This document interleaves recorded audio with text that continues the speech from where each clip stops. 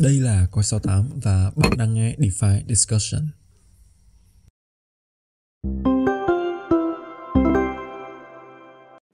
Rồi, ok, xin chào anh em. À, rất vui được gặp lại anh em trong một tuần mới và chúng ta lại có cơ hội để ngồi xuống uh, trò chuyện và có thể coi là chém gió với nhau về những chủ đề xoay quanh thị trường uh, uh, crypto và đặc biệt là thị trường DeFi. Và đồng hành cùng với chúng ta hôm nay một vị khách mời đã quá quen thuộc. Uh, xin chào anh Poseidon. À, cảm ơn Nguyên và rất vui khi uh, tiếp tục được gặp anh em trong một cái podcast mới của DeFi Discussion. Rồi, một tuần mới và đây là thêm một tập mới. Tuy nhiên là cái chủ đề tuần này thì anh em nếu mà nghe tới cái từ khóa chắc là hơi nhàm hơi hơi hơi hơi khoai đó tại vì chúng ta nói quá nhiều về cái từ khóa này trong rất là nhiều tập trước đó tuy nhiên á là đây là lần đầu tiên mà chúng ta sẽ đề cập về cái từ khóa này với một cái khái niệm mà nó có một cái hình hài rõ ràng hơn. Tức là trước đó thì chúng ta chỉ biết đến là ok liquid staking tức là cầm à, một cái dạng tài sản ví dụ như là ethereum mình stake vào cái à, mạng lưới thì mình nhận ra được một cái token đại diện thì cái đó là liquid staking. Tuy nhiên á, là trong cái bối cảnh hiện tại của thị trường thì khi mà nhiều cái sản phẩm nó phát sinh và nó mở rộng. Xoay quanh cái câu chuyện gốc là chúng ta staking tài sản vào một cái nền tảng. Thì uh, chúng ta đã uh, gọi là thị trường bây giờ nó nó đã dịch chuyển sang một cái khái niệm mới rồi. Và uh, đây sẽ là lần đầu tiên chúng ta nói về một cái khái niệm mà uh, có thể là anh em sẽ rất là quen thuộc. Tuy nhiên là mình nghĩ là khi mà đào sâu vào thì sẽ có rất là nhiều những cái góc nhìn thú vị ha. Rồi thì chắc là cũng giới thiệu dài dòng rồi. Thì uh, chủ đề của podcast tuần này đó sẽ là liquid staking uh, finance hay uh, viết tắt là LSDFi ha. Thì uh, uh, chắc là câu hỏi đầu tiên dành cho anh Poseidon đi. Tức là một cái khái niệm nó nó cũng khá là uh, mới xuất hiện thời gian gần đây.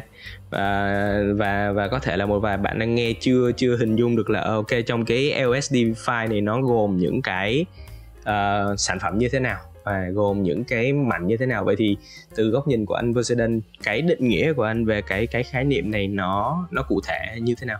Rồi ok anh em nói chung thì cái ờ, khái niệm thì anh em hiểu cũng đơn giản thôi để mình ờ, nói ờ, sơ sơ chút. Thì đại loại uh, LSD Finance thì nó là thuật ngữ để chỉ các cái giao thức mà DeFi mà nó liên quan đến cái uh, uh, mệnh ghép uh, mà chúng ta cũng hay nói trước đây uh, là liquid staking đó. Thì uh, À, nói chung chúng ta sẽ nói về bối cảnh chút tức là như anh em biết thì cái uh, liquid staking nói chung á, và cái uh, giải pháp uh, uh, Lido Finance nói riêng á, thì nó cũng khá là thành công trong thời gian vừa rồi. Thì cái uh, bắt nguồn của nó là từ cái nguồn từ cái nhu cầu rất lớn của người dùng khi mà muốn uh, tìm những cái giải pháp staking nó gọi là dễ dàng hơn và và và hạn chế được những cái rào cản trước đây.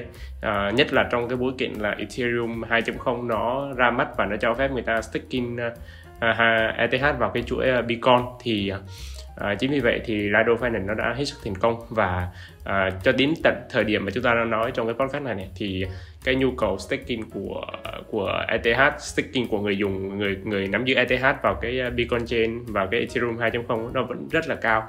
À, và chính vì vậy thì những cái giải pháp nó liên quan đến liquid staking đó, nó phát triển cực kỳ mạnh. Và khi mà cái thanh khoản và cái dòng vốn nó nó tập trung vào một cái mạng là liquid staking như vậy thì à, sẽ có những cái sản phẩm khác xoay quanh nó à, bắt đầu được phát triển à, bởi vì à, về bản chất á, khi anh em sử dụng những cái giải pháp liquid staking dạng như Lido chẳng hạn thì anh em sẽ cầm trong tay một cái uh, gọi là chúng ta tạm gọi là liquid staking token tức là chúng ta bỏ ETH vào staking để chúng ta nhận về uh, ST ETH, ST uh, hay là những cái loại khác ừ. là R, uh, R ETH hay là cái gì đó ETH á, thì à, những cái đó thì nó là một cái lượng tài sản rất là lớn tại vì nó tương đương với lượng ETH ở staking mà.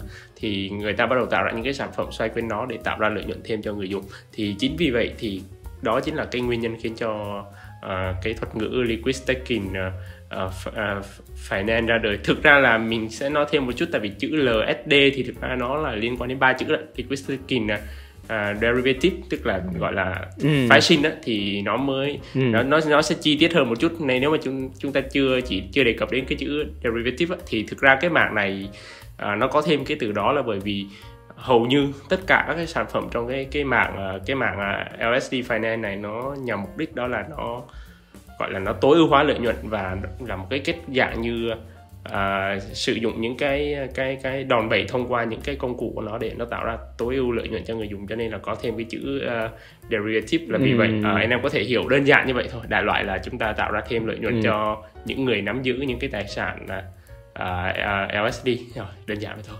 Ừ. Ok. Uh, chúng ta sẽ nói về cái cái hồi nãy có một cái câu hỏi liên quan đến cái mạng đi. Thì uh, gần đây là uh, Binance họ cũng uh, thông báo hỗ trợ yết một cái sản phẩm nó cũng khá là lạ đó là Bendo thực ra thì cái sản phẩm này nó cũng đã có một cái thời gian phát triển nó cũng lâu và cái lượng người dùng nó cũng nhiều thực ra là nó nó không hề lạ à, nó không hề lạ đối với những uh, anh em mà design lâu uh, hoặc là research nhiều về mạng file thì thực ra nó không hề lạ uh. ừ. thì nhưng mà nhưng mà cái vấn đề của cái bundle này là nó uh, nó là một cái mảng ở trong cái LSD file và gần như là nó sẽ có những cái vai trò bổ trợ nhất định cho cái cái bức tranh tổng LSD file này. Vậy thì uh, anh à, anh Poseidon có thể giải thích về cái vai trò của một cái sản phẩm ở trong cái mạng kiểu như Bendel hay không? Và uh, anh có thể lý giải tại sao là uh, nó có một cái uh, nó có một cái gì đó đáng chú ý mà Binance họ họ họ có những cái cái thông báo hỗ trợ thời gian gần đây ha. À, thì trước khi trả lời câu hỏi của Nguyên thì mình sẽ nói qua một cái chút về những cái mạng mà đang phát triển trong uh, trong cái trong, trong ừ. cái ngách gọi là LSD5 Finance ha thì đầu tiên là nó sẽ là những ừ. cái mạng liên quan đến dịch vụ staking thì trong dịch vụ staking thì chúng ta có nhiều loại nha ví dụ như là các cái sàn uh, tập trung mà cung cấp dịch vụ staking ví dụ như Binance, ừ. uh, Coinbase thì đó là một dạng ừ. rồi những cái giải pháp mà staking phi tập trung ví dụ như là là Finance hay là uh, cái gì ta? Tự nhiên mình quên tên mất. Rocket uh, Rocket. Rocket Pool đúng rồi Rocket Pool. Hay là một số sản ừ. phẩm nhỏ nhỏ khác nữa thì nó là uh, staking phi tập trung. Uh, đó là một một mạng cái mảng sản phẩm thứ hai trong cái uh, LSD Finance đó là uh, stablecoin. Thì cái này là mới nha. Cái này thì nó phát triển là do mấy thằng kia nó phát triển đó. Tức là người ta bắt đầu cho phép thế chấp những cái LSD token vào để tạo ra stablecoin. À, thì bản chất nó cũng là một cái giao thức lending thôi. Nhưng mà tài sản thế chấp là các cái LSD token. Rồi anh em hiểu đơn giản như vậy à, một cái cũng mới nữa cái thứ ba là, là cái ờ, year year strategy á, tức là những cái cái cái chiến thuật mà tạo ra lợi nhuận á, thì thì cái pendle mà nguyên nói hồi nãy là nó nằm trong cái mạng này tức là nó sẽ thông qua ừ. những cái uh, chiến lược gọi là farming ở trên DeFi hoặc là uh, thông qua một số cái sản phẩm ví dụ như AV hay Compound hay Uniswap để nó tạo ra cái cái lợi nhuận. Thì gọi là đó là mạng thứ ba. Còn cái mạng thứ tư cũng tương đối mới nha là index thì index thì thực ra là một cái thuật ngữ không mới. Thí dụ như anh em hay nghe trên bản tin đó, tài chính đó, là vn index hay là chỉ số Dow Jones một cái rổ đó. À, đại loại nó là một cái rổ, một cái rổ. một cái rổ giá trị. À, thì cái cái mạng này thực ra nó sẽ cho phép người dùng gọi là khóa một số hoặc là chỉ một token thôi để nó nó nhận được cái LSD token và và từ đó nó nó tạo ra một cái index thông qua cái LSD token để đa dạng hóa rủi ro và giúp cho uh, người dùng ừ. có thể uh, phân ừ. có thêm một cái chiến lược để mà đầu tư thì đó là ừ. thay vì ừ. thay vì tôi stake trực tiếp vào một cái platform nào đó thì thì bây giờ là tôi stake qua một ông này xong rồi ông sẽ phân bổ cái lượng tiền đó ra và ông stake trên nhiều nền tảng để giảm thiểu cái rủi ro ừ. Rồi, ừ. ngoài ra thì cũng có một số cái sản phẩm mà nó đã hỗ trợ từ lâu thì dụ như là À, AV hay um, Compound gì đó thì nó đã hỗ trợ cho kiểu như chúng ta thế chấp và STETH để làm tài sản thế chấp ờ, để mà vay thì cái này cũng khá lâu rồi. Thì đó cũng là một cái nghịch. Uh, nó nó tương tự như cái cái stablecoin chẳng qua cái cái việc vay hơi khác chút thôi. Thì đó là một số cái mảng mà trong ờ, LSD Finance nó đang phát triển. Thì Pendle nó là câu chuyện của của cái mảng gọi là những cái chiến thuật để tạo ra cái lợi nhuận tốt. Thì uh, nói đến Pendle thì mình sẽ sẽ nói hơi dài chút tại vì cái cái cái dự án này nó có kỷ niệm mình khá là nhiều. Tại mình đã đi đi theo nó từ uh, gọi là cuối 2021 từ cái thời điểm mà chưa ai biết về nó thì uh, đây là một dự án mà nó mình sẽ nói qua một chút về Pendle trước đi. Thì Pendle nó uh, đại loại thì mình sẽ nói qua một chút về cái khái niệm của Pendle Finance trước và cái cách nó hoạt động. Thì Pendle Finance là một cái giao thức mà anh em có thể dùng để mà uh, tận dụng cái cái tính biến động của của cái lợi suất ấy, tức là cái APY ấy, để và và và từ đó chúng ta giao dịch cái lợi tức tương lai ở đây là một cái thuật ngữ nó nghe khá khó hiểu tức là à, giao dịch những cái lợi nhuận mà chúng ta có thể kiếm được trong tương lai để từ đó lại kiếm được lợi nhuận thì anh em có thể hiểu là thí dụ như anh em khi mà anh em cầm một cái lượng mình thí dụ như là anh em đáp tiền ừ. vào cái pool của AV đi và anh em sẽ nhận được A token. Thì A token nó nó sẽ đại diện cho cái số tiền gốc cộng với một phần lợi nhuận anh em trong tương lai. Thì khi ừ. anh em deposit tiếp tục A token đó vào cái Pendle thì Pendle nó sẽ chia cái A token đó là làm hai phần. Thứ nhất là cái token gốc hà mình đại mình có thể người ta ký hiệu ở trong Pendle là principal token tức là nó sẽ đại diện cho cái tài sản gốc mà chúng ta nạp vào. Cái thứ hai là year token tức là cái token đại diện cho cái lợi nhuận mà chúng ta sẽ nhận được trong tương lai. Nó sẽ gắn với một cái uh, uh, mature tức là cái cái cái um, cái đáo hạn á uh, uh, thì đến cái thời hạn đó chúng ta mới nhận được lợi nhuận thì thông qua cái việc này anh em có thể mua bán ừ. đó, có thể uh, mua bán cái uh, mà principal token và cái year token để uh, chúng ta thì nếu như trong trường hợp chúng ta muốn cắt cắt bớt cái rủi ro tại chúng ta nhận thấy là chúng ta dự đoán là trong tương lai thì cái lợi nhuận chúng ta nhận được nó có thể thấp hơn. Thì chúng ta bán cái cái phần đó cho người người người khác và người ta sẽ nhận lấy cái phần rủi ro đó với cái kỳ vọng là lợi nhuận trong tương lai nó sẽ nhiều hơn. Ngược lại thì chúng ta sẽ nhận được ngay cái tiền à, gọi là stablecoin đi và chúng ta đưa về để mà cắt cái rủi ro. Thì đó là một cái thị trường mà người ta gọi là thị trường giao dịch cái lợi tức tương lai. Và trong thực tế thì trong nếu mà anh em chịu khó tìm hiểu trong cái à, tài chính truyền thống ấy, thì đây là một cái mạng thị trường cực kỳ lớn và nó hầu như nó liên quan đến rất là nhiều cái sản phẩm phái sinh à, hàng hóa mà chúng ta hay được biết đó, thì nó là những cái hợp đồng tương lai nó nó nó cũng là một cái dạng của cái thị trường này ừ. thì à, nó nó kiểu như là cái em em em em không rõ về mặt khái niệm nhưng mà theo những gì mà em research thì nó khá giống với lại cái interest uh, swap contract á, tức là à. hoán đổi cái lãi suất á. Rồi chính xác. Thì thực ra nếu mà anh em để ý thì Pendle là một trong những cái thằng đầu tiên nó nghĩ đến câu chuyện này tại vì tại vì sao? Tại vì à, khi hồi xưa khi mà cái thằng à, thằng à, gọi là founder của dự án nó có khi mà mình tìm hiểu thì có nói chuyện nó thì nó có nói là bởi vì hồi xưa khi mà nó là bắt đầu làm về DeFi thì nó thấy là hầu như mọi dự án đều có một cái mức APY rất là cao để thu hút người dùng. Thì chúng ta hay gọi đó là cái chương trình gọi là uh, liquidity min mà minin đúng không ạ? Tức là thu hút người dùng cung cấp thanh khoản bằng cái thanh bằng cái APY rất là cao. Tuy nhiên nó nó lại nó nói là tuy nhiên là nó cái APY đó mặc dù cao nhưng mà nó sẽ không chốt được ở một cái mức giá cố định tức là người dùng không thể nào biết được cái phần thưởng thực tế người ta nhận trong tương lai sẽ là bao nhiêu cả. Tại vì nó bị biến động tùy thuộc vào cái giá token và tùy thuộc vào cái chính sách của dự án cái điều chỉnh lạm phát trong pool vân vân. Thì nó muốn làm cái đó. Và nó muốn mặc dù cái APY ừ. của của của Pendle nó không thực sự quá cao để mà người ta FOMO nhưng uh, nó sẽ giúp cho người ta chốt được cái phần lợi nhuận ở trong tương lai một cái cố định thì đó là cái cái mục tiêu mà nó làm ban đầu. Và và à, thì đó chính là Pendle Finance. Và và thực ra thì cái thời gian qua Pendle bùng nổ thì nó cũng ờ, có khá là nhiều lý do. À, tại vì V1 gần đây nó ra mắt V2 trước đó là nó làm V1 thì V1 à. của nó là um, trong giới Digan của tụi mình thì mình hay nói câu là nó cực kỳ khó hiểu. Hồi xưa khi mà mình tìm hiểu về nó thì chắc cũng phải mất khoảng một hai tuần để mình đọc dự án rồi nói chuyện với team rồi nói chuyện với một số anh em gọi là uh, hiểu biết nhiều về cái mạng này á, thì mình mới hiểu được là đại loại thông qua Pendle Finance á, là anh em có thể kết hợp những cái nó nó nó ý tưởng của nó là nó sẽ không cố gắng nó dình cái thanh khoản từ những cái thằng cái thằng top 1 như AV hay Uniswap hay Compound mà nó sẽ dựa trên những cái sản phẩm à, những cái token của của ờ, uh, AV Compound hay là Uni để mà nó tạo ra thêm lợi nhuận. Tức là nó sẽ là ừ. một cái gọi là cái cái build người ta hay bây giờ này người ta hay dùng cái từ là on top tức là xây dựng ở trên ừ. trên trên chuỗi của mấy cái thằng lớn nhất đó tức là uh, sau khi người dùng người ta cung cấp thanh khoản này người ta cho vay ở trên uh, những cái top 1 đó thì nó sẽ người ta sẽ nhận được một cái token uh, đại diện cho những cái người ta đã đã đã thực hiện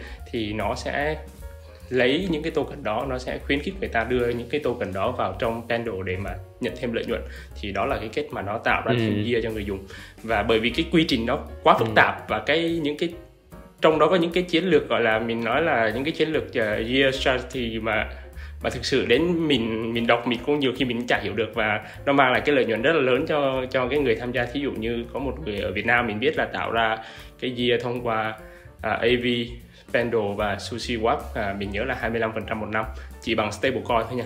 Tức là cái gì uh, kinh khủng ừ. và gấp gấp 3 gấp 4 lần cái lãi ngân hàng. À đâu phải gấp 6 lần nhé gấp gần 6 lần lãi ngân hàng thời điểm đó thì mọi người hiểu là cái tiềm năng của Pendle nó nó nó lớn đến như nào. Nhưng nhưng cái V1 nó quá khó để mà những cái người dùng phổ thông người ta tiếp cận và nó nó quá phức tạp để để mà người ta có thể hiểu được về nó và và và chính Pendle nó cũng thừa nhận là thời điểm đó nó nó quá phức tạp và và đến bây giờ người ta vẫn nói là Pendle không phải là một sản phẩm dành cho người dùng bình thường. Tức là phải ờ, uh, uh, hiện tại nếu anh em vào trong Pendle anh em sẽ, sẽ thấy nó có hai tab. Một tab là kiểu như dùng người dùng cơ bản và một tab là kiểu pro professional tức là người dùng chuyên nghiệp thì nó vẫn phân loại nha. Thì trong cái V2 nó có nhiều cái cải thiện hơn. Thí dụ như là nó nói chung là chủ yếu nó cải thiện về mặt ờ, uh, UI UX và cải thiện về mặt cái trải nghiệm người dùng cũng như là nó cố gắng nó đơn giản hóa và nó chính nó tự đưa ra những cái chiến lược kia để mà người dùng áp dụng theo. Tức là đại loại là tao tao làm sẵn rồi tụi mày chỉ có bấm theo thôi. Thì từ đó nó giúp cho với lại đi cùng với cái sự bùng nổ của của những cái à, uh, LSD token như STETH chẳng hạn và nó chấp lấy cơ hội đó nó nó xây dựng được những cái chuỗi à, uh, year chiến chiến lược à, tạo ra lợi nhuận dựa trên những cái đồng đó. Và từ đó là mình nhớ là hình như trong uh, ừ. gần một năm vừa rồi là TVL của nó tăng từ uh, hình như sáu bảy triệu hay là bảy tám triệu đô gì đó mà hiện tại bây giờ là trăm mấy rồi đúng không? Ừ, cỡ đó thì đó là một cái mức tăng trưởng hết sức kinh khủng và và đó chính là cái cái lý do mà tại sao cái Pendle V2 nó lại thành công như vậy đó thì nó là một cái câu chuyện rất là dài từ 2021 tới bây giờ mình ừ. theo dõi dự án cho nên là mình cũng kể hơi hơi có dài dòng thì nên thông cảm. Thực sự là nãy giờ nếu như mà trước cái ờ, podcast này mà mình không ờ, gọi là trò chuyện trước với anh Poseidon để anh Poseidon giải thích về về cái mô đồ trước á, thì khi mà vào trong cái podcast này sẽ rất là ngợp thì mình mình nghĩ là nhiều anh em mà đang nghe đến đến đoạn này thì có thể sẽ hơi, tại vì giống anh Poseidon nói là cái sản phẩm này nó không dành cho những người sử dụng mà những cái thao tác thường ngày đúng không? Ví dụ như chúng ta swap rồi chúng ta cung cấp thanh khoản rồi các thứ thì nó nó ok, nó nó chỉ là cùng lắm là một hai cái nút bấm. Thì uh, chúng ta có thể vượt qua được cái rào cản đó. Tuy nhiên là đến cái cái bước là phải hiểu được là lãi suất nó là như thế nào và cái định dạng token nó đang ở như thế nào rủi ro nó như thế nào mức độ uh, đòn bẩy nó như thế nào. Rồi rồi mình phải kết hợp nhiều cái nền tảng với nhau nữa. Thì thì nói nói chung là cái này nó phải uh, phải phải phải não phải gọi là sạn lắm á thì thì thì thì mới nhảy số được kịp cái này. Thì uh, thì ok thì đó là câu chuyện của Bendo. À, chúng ta sẽ uh, quay trở lại với một cái thứ mà nó nó nó có thể coi là đơn giản nhất của cái cái từ khóa EOS DeFi này đó là cái uh, các cái liquid staking protocol ha. Tức là những cái nền tảng đơn giản anh em chỉ cần uh, cầm ETH và stake vào thôi. Thì uh, cái câu hỏi dành cho anh Poseidon đó là hiện tại thì chúng ta biết là cái cái cái thời gian mà người dùng phải đợi để để để Ethereum của họ chính thức được stake vào trong cái Bitcoin chain là khoảng 38 ngày, à, 38 40 ngày gì đó, tức là cũng phải đợi một khoảng rất là lâu. Thì cái nhu cầu nó rất là lớn. À, thì những cái bên những cái protocol những cái giao thức mà họ đã có được cái lợi thế cạnh tranh từ lâu rồi. Ví dụ như là uh, Lido đi. Chúng ta nói về cái cái sự uh, độc quyền của Lido trong cái cái sự dominant của Lido trong cái mạng này. Thì họ có một cái lợi thế cạnh tranh hay là một cái rào cản nào đó đối với những cái uh, các cái giao thức đối thủ hay không? Và nếu như có thì những cái rào cản đó sẽ là cái gì? Ừ, thì thực ra cái này thì dĩ nhiên à, Lido nó có rất là nhiều cái lợi thế cạnh tranh rồi. Thứ nhất là nó là người đi đầu thứ hai là cái giải pháp của nó tuy là nó dễ bắt chước và đơn giản nhưng mà à, nó lại bởi vì cái lợi thế là người đi đầu và đồng thời nó cũng kiểu như nó partner được với những cái bên gọi là chuyên cung cấp cái dịch vụ staking đó tức là cái hệ thống mà gọi cái sự chuyên nghiệp rồi cái phần cứng các thứ trong cái quá trình xử lý người ta đã đi vào uh, gọi là cái uh, nói chung là như ăn cơm uống nước hàng ngày rồi cho nên là chỉ cần ráp vào là làm thôi và cái việc của duy nhất của người dùng là đưa ETH cho người ta rồi người ta sẽ tự phân phối cho các cái uh, validator node chuyên nghiệp mà người ta chạy sau đó chia chia lại cho nhau theo cái uh, thỏa thuận ban đầu. Thì uh, chính vì vậy mà cho nên là ngay từ đầu thì Lido nó đã chỉ rất là thành công mình nói là rất là thành công luôn. Thì uh, cái việc mà nó lấy được một cái lượng thanh khoản lớn ở trên cái thị trường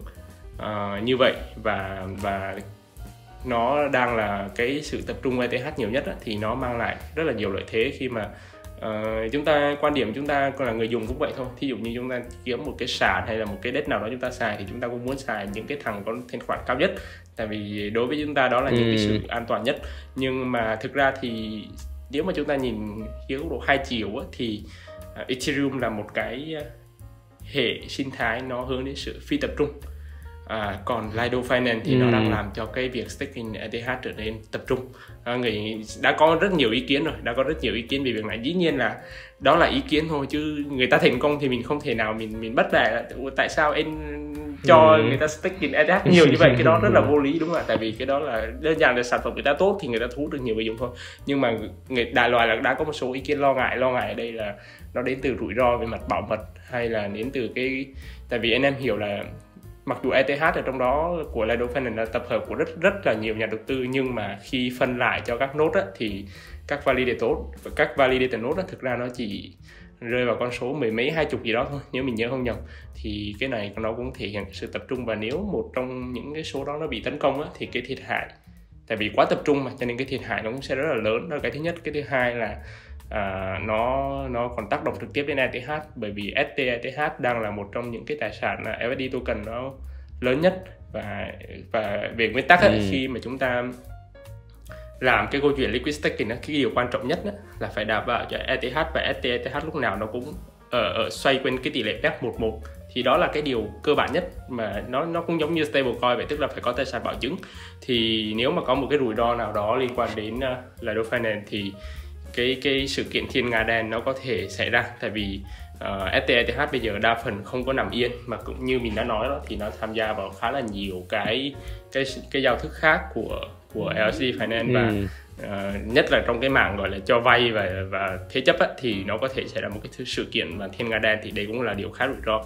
Thì cũng có một số dự án nó đã mặc dù nhỏ nhưng mà nó cũng đã bắt đầu minh nhà đến vào những cái ngách này tức là uh, nó hướng đến cái sự phi tập trung cái sự bảo mật tốt hơn và cái sự phân quyền tốt hơn thì một trong những cái dự án đó hồi xưa mình cứ nhớ mình có viết một cái bài trên Coin đó là cái con uh, SSV Network thì con này thực ra nó cũng ừ. mới và nó cũng đang trong cái giai đoạn beta thôi nhưng mà cái công nghệ của nó cũng đã hướng đến khắc phục những cái yếu điểm mà mình vừa nói của là Finance tuy nhiên thì mình thấy là cái cuộc chiến này nó khá là khó. Kiểu như nếu mà không có cái sự kiện nào nó mang tính à, bất ngờ hay đột phá gì thì thì Lado sẽ vẫn là top 1 thôi. Còn lại cái thị phần nó sẽ được chia đều do những cái uh, dự án uh, nhỏ lẻ còn lại.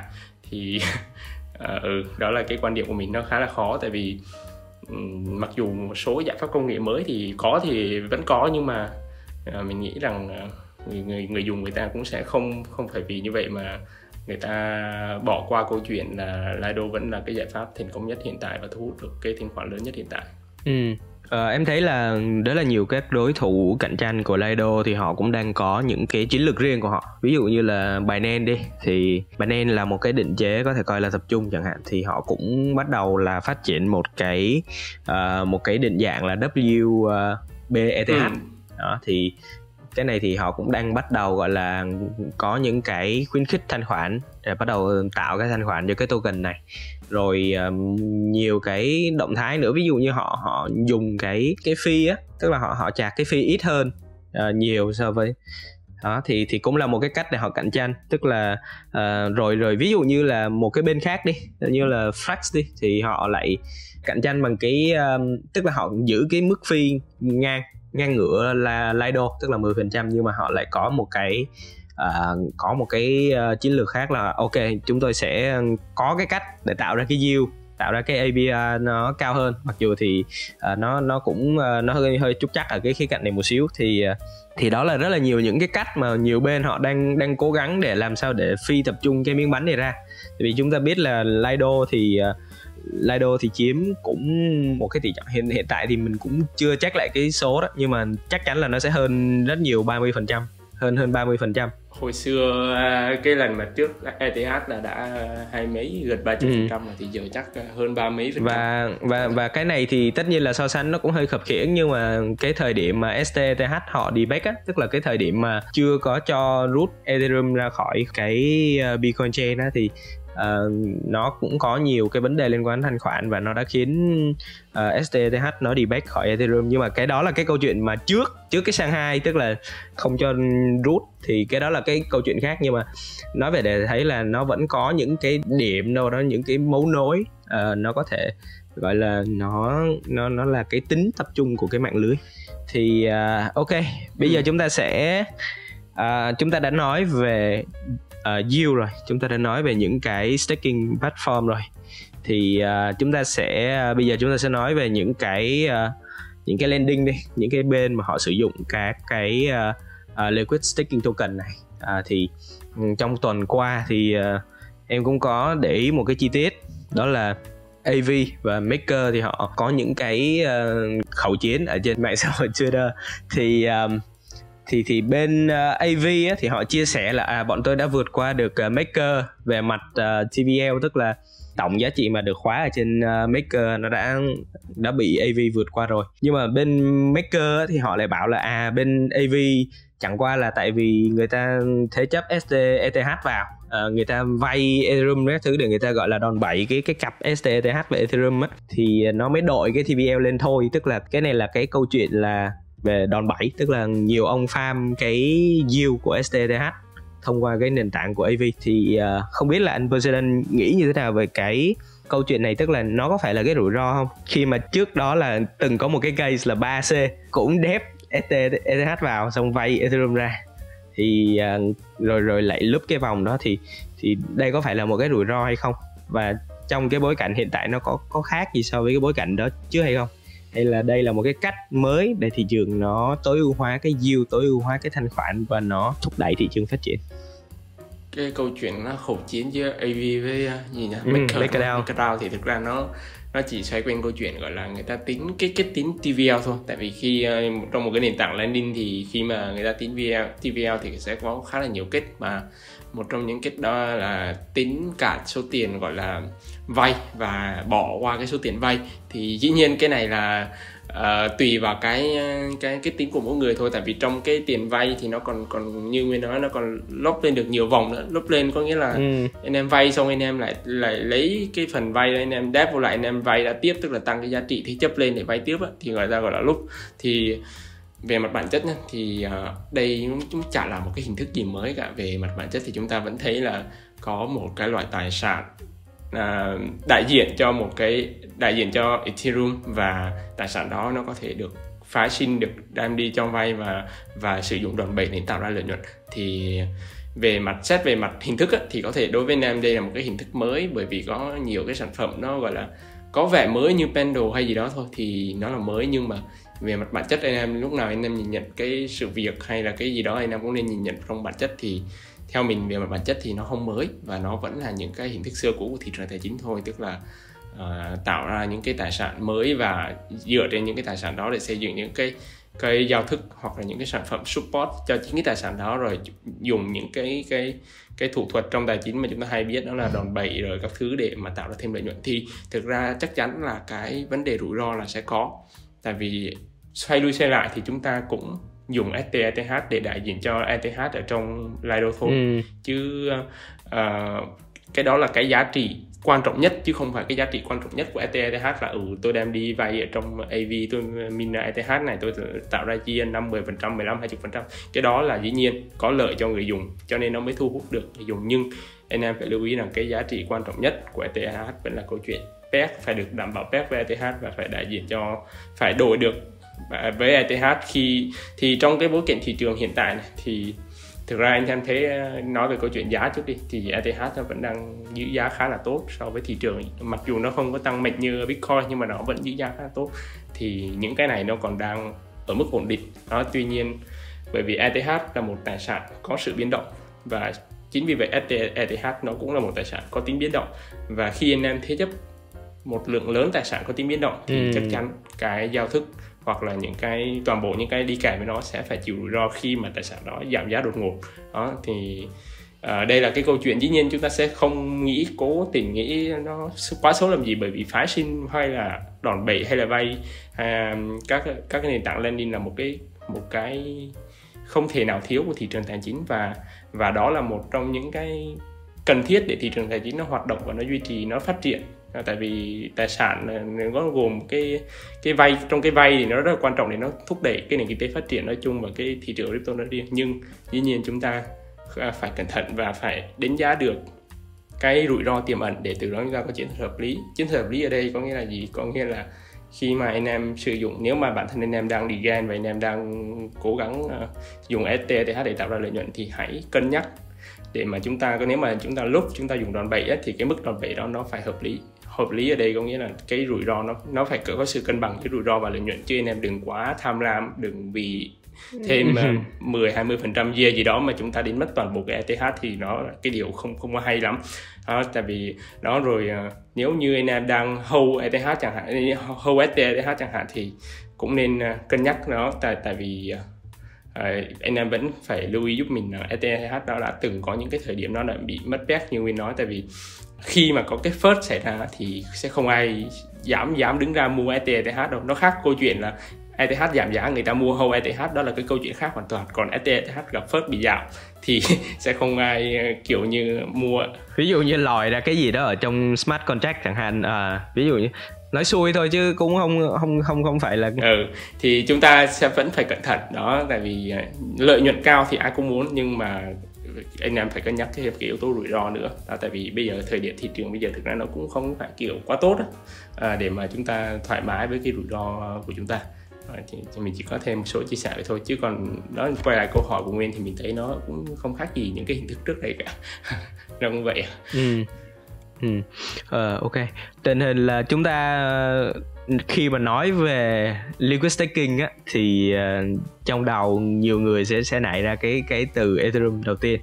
Uh, thì ờ, thì thì có thể là nó sẽ nếu như mà chúng ta dừng cái câu chuyện tuần này ở ở đây á thì thì uh, có thể nó sẽ hơi phiến diện một xíu và nhiều anh em theo dõi cái podcast thì có thể nói là uh, mấy ông này ethereum maxi quá kiểu uh, thiên vị cho ethereum. Thì thì bây giờ để mà cái bức tranh À, uh, LSDFi của chúng ta nó nó có một cái uh, nó có một cái khách quan hơn. Thì uh, bây giờ ngoài Ethereum đi thì uh, anh Poseidon có cái sự quan tâm hoặc là có cái sự theo dõi nào với cái uh, cái mạng liquid staking này nhưng mà ở các cái hệ sinh thái khác và lý do tại sao anh uh, anh anh có cái sự quan tâm và cái sự theo dõi đó? Ờ, thì nói thật nha nói thật thực ra thì nếu mà anh em muốn ờ, research nhanh về cái liquid staking ở trên toàn bộ hệ sinh thái anh em có thể vào cái DeFi Lama và anh em chọn cái phần top protocol đó, thì top protocol nó sẽ liệt kê toàn bộ những cái dự án hàng đầu trong từng từng nít ở trong từng hệ sinh thái. Ví dụ như uh, nó sẽ có liquid staking rồi CDP rồi landing rồi DEX thì nó sẽ liệt kê ra cho anh em là ví dụ như trên trên uh, Avast thì đâu là những cái tên hàng đầu trong Ethereum thì đâu là những cái tên hàng đầu vân vân. Thì uh, uh, nói chung mình cũng hay theo dõi trên DeFi Lama thì nói thật với anh em thì cái mạng liquid staking này có có lẽ là nó chỉ có, có thể phát triển mạnh trong thời điểm hiện tại ở ở ETH thôi. Thì lý do là không phải là bởi vì vì vì uh, sao cả mà bởi chỉ đơn giản là bởi vì ETH là một trong những hệ sinh thái duy nhất còn giữ được cái niềm tin lớn cho cộng đồng thôi. Tức là kiểu như người ta sẵn sàng bất chấp đào tràn bất chấp thị trường khó khăn người ta vẫn mua ETH người ta vào và stake với cái niềm tin là à, uh, 3 năm 5 năm 10 năm nữa thì ETH giá nó sẽ cao.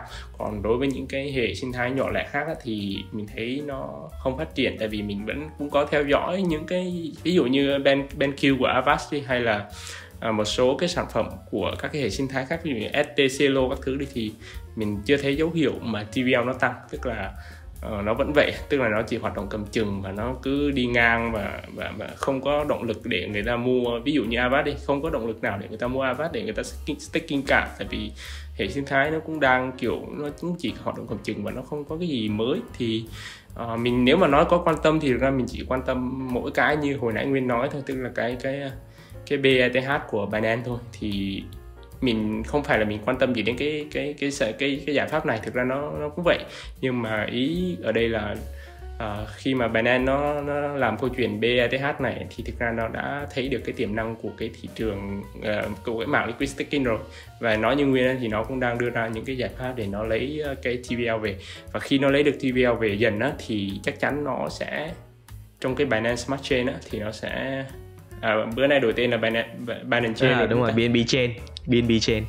Ở ờ, BNB Chain á, thì nó sẽ có những cái sản phẩm tương tự như Pendle à, anh em anh em hình dung ra câu chuyện của mình nói chứ tức là Pendle nó nằm bên ETH và sắp tới nó có thể phát triển đến Arbitrum. Đó là câu chuyện của nó. À nó đã phát triển đến Arbitrum rồi sorry. Thì đó là câu chuyện của nó. Thì còn đó thì khi Binance nó lấy thêm khoản của BETH về á, thì chắc chắn nó sẽ phải xây thêm. Hoặc là trong trong cái hệ sinh thái của nó sẽ có những thằng nó bắt đầu nó nghĩ đến câu chuyện là làm những cái sản phẩm như Pendle hay là thậm chí là những cái cái on top của Pendle á tức là cái, ừ. cái thuật ngữ mà gần đây giới đi hay nói là Pendle Wall ừ. thì em nên để ý vào những cái sản phẩm đó để chúng ta đầu tư sớm thì nó sẽ ngon hơn là là câu chuyện kiểu như chúng ta cố gắng đi tìm những cái liquid staking của các cái hệ sinh thái nhỏ hệ sinh thái khác ừ. Ừ, ừ. đó cái cái mình để ý là vậy thôi em thì em em em, em theo dõi cái liquid staking nhưng mà của một cái hệ sinh thái khác là cái Cosmos nhưng mà cái khía cạnh em theo dõi là vì uh, cách đây vài tuần thì em cũng đọc được một cái report từ uh, thực sự ra là em cũng quên mất cái nguồn cái tên rồi nhưng mà em chỉ nhớ thoáng thoáng là họ có những cái thống kê về mặt uh, chi phí và cái chi phí của một cái bên vận hành cái validator trong mạng lưới á và cái cái yield cái lợi nhuận để à, để để bù đắp cho cái cái chi phí hoạt động của họ thì uh, cái cái báo cáo đó nó cũng hơi là nó tức là nó cũng hơi có cái yếu tố là thời điểm một xíu tức là họ lấy cái atom cái đồng atom á nó nó ở khoảng ờ, 10 đô ở cái giá hiện tại để họ đưa ra những cái so sánh giữa chi phí và lợi nhuận thì uh, thì nó cũng hơi mang tính thời điểm nhưng mà em có để ý đến cái cái câu chuyện đó uh, thì thì à, thì họ cũng đề cập với một chi tiết là với những cái mạng lưới kiểu như là Atom mà họ xây dựng cái định hướng là app chain đó thì khi mà cái số lượng cái chain coin nó cắm vào á, thì cái độ phức tạp của cái validator trên cái mạng lưới của họ nó sẽ tăng lên cái chi phí nó tăng lên. Và cái cái cái yield nếu như mà cái cái mức độ uh, cái mức độ tăng giá nó không tăng quá quá mạnh để nó bù đắp lại cái chi phí vận hành kiểu, như cái đồng token gốc nó không có tăng quá nhiều á ừ thì cái chi phí nó sẽ lỗ. Ừ. ừ. Ừ, chi phí nó sẽ lỗ. Thì đây là một cái chi tiết mà uh, có thể anh em sẽ tham khảo một xíu và quan tâm nếu như mà đang theo dõi cái hệ Cosmos Atom. Uh, thì và và nhấn mạnh lại một nữa là cái cái báo cáo này nó cũng hơi mang tính thời điểm thôi tức là nó lấy cái giá tham chiếu là 10 đô của Atom thôi. Thì uh, thật sự là thật sự là hiện tại thì mình cũng không nhớ là cái bên uh, cái cái nguồn của cái bài blog này là gì? Nhưng mà nếu như mà có thì có thể bọn mình sẽ đính kèm một xíu ở dưới phía uh, comment của cái podcast này. Thì uh, ok um, em nghĩ là cái buổi trò chuyện tuần này thì nó cũng rất là nhiều điều thú vị rất là nhiều những cái thông tin mới nhiều insight uh, và rất là nhiều những cái khía cạnh mà bình thường nếu như mà một người họ chỉ theo dõi trên Twitter thì họ họ sẽ không thể nào mà cover hết được tức là chúng ta phải có nhiều cái thảo luận và nhiều cái trao đổi với nhau. À, thì thì mới có thể khai thác được những cái khía cạnh của một cái mạng mà uh, mọi người tưởng chừng như là nó rất là cũ như là liquid staking. Thì uh, uh, rất là cảm ơn anh uh, Poseidon rất nhiều uh, đã đến với DeFi Discussion tuần này và có rất là nhiều những cái chia sẻ nó uh, hết sức là thú vị đặc biệt là rất là uh, rất là ấn tượng với cái câu chuyện mà ờ, uh, Bendo hồi nãy của anh uh, Poseidon. Rất là rất là phức tạp và thực sự là nó nó nó thách thức những người nghe đó và và và khuyến khích họ tức là làm sao để phải hiểu được cái model này.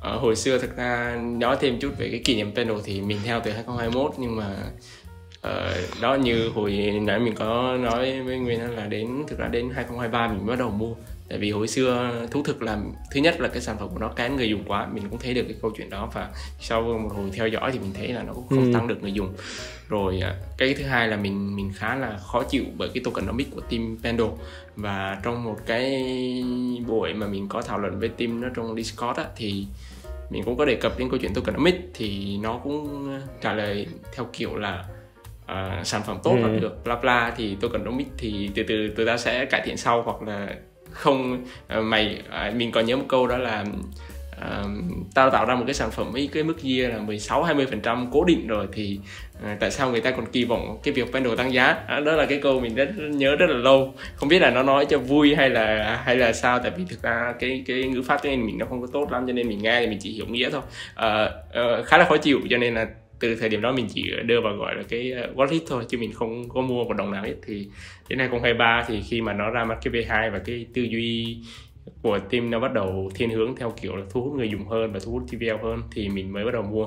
Thì uh, uh, nó nó là cái cái kỷ niệm như vậy. Thì nói chung trong DeFi nó nó có rất là nhiều cái mới thì uh, anh em sẽ nên cố gắng chúng ta cùng nhau thảo luận nhiều hơn và và tìm hiểu nhiều hơn kết hợp với những cái kiến thức tài chính truyền thống và à, đó như mình cái cách mình tìm hiểu Pandora là thậm chí chúng ta có thắc mắc gì chúng ta cứ hỏi thẳng cái team nó thì à, chúng ta từ đó chúng ta có thể tìm ra được những cái dự án nó nó nó tốt khi nó còn à, còn khá là mới. Nhưng mà như này thấy đó nhiều khi nó mới mức mà hai năm sau nó mới mới, mới bùng nổ. Thì đôi khi chúng ta cũng phải kiên trì một chút ở trong đó nữa nhảy này ừ, rồi ok. Cảm ơn anh rất nhiều. À, rồi thôi ờ, cũng ờ, cảm ơn ờ, Nguyên đã mời mình chia sẻ một cái chủ đề mà mình cũng rất là tâm huyết nói chung chắc cũng một hai năm nay. Thì đó là cái liên quan đến cái uh, thị trường uh, lãi suất phái sinh và và và những cái sản phẩm của liquid staking. Rồi thì cũng rất vui khi được chia sẻ với anh em những cái kinh nghiệm trong quá trình đầu tư cũng như là những cái hiểu biết của mình. Thì hy vọng nó sẽ giúp cho anh em có thêm những cái à, góc nhìn để tham khảo khi mà tham gia vào thị trường. Hẹn gặp lại anh em trong các cái podcast tiếp theo. Rồi, ok. Hẹn gặp lại anh em trong à, DeFi discussion tuần tiếp theo với những câu chuyện thú vị. Rồi, bye bye anh em.